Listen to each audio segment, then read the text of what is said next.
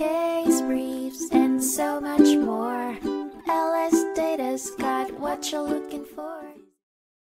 In 1975, the Supreme Court of the United States heard the case of Weinberger v. Wiesenfeld, which focused on the constitutionality of a provision in the Social Security Act that provided benefits solely to minor children of deceased female wage earners. Stephen C. Wiesenfeld was denied survivor's benefits for himself after his wife, Paula Polatschek, passed away during childbirth.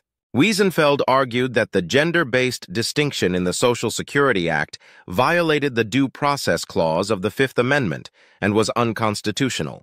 The District Court for the District of New Jersey agreed noting that the Act's assumption that male workers' earnings are vital to the support of their families, while the earnings of female wage earners do not significantly contribute to their families' support, was an archaic and overbroad generalization. Although Wiesenfeld received benefits for his son, he was not eligible for benefits for himself due to the Section 402 G benefits only being available to women.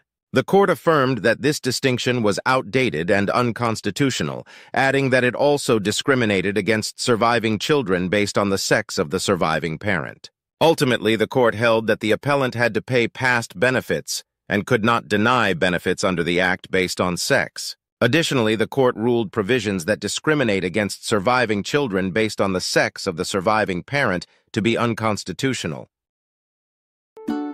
Case briefs and so much more. LS Data's got what you're looking for. Visit lsd.law, elevate your mind. Leave the stress of class.